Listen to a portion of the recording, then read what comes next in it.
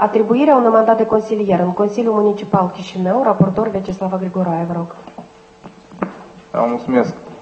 Stimați colegi, propun să ridicăm în legătură cu cererea de demisie mandatul consilierului Onișenko Oleg, ales pe lista partidului politic Partidul Socialiștilor din Republica Moldova, în Consiliul Municipal Chișinău.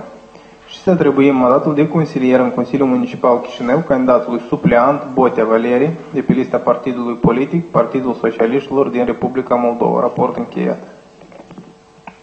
Stimați colegi, dacă sunt întrebări, voi supune votului dumneavoastră adoptarea hotărârii cu privire la atribuirea unui mandat de consilier în Consiliul Municipal Chișinău. Cine este pentru, rog să votați.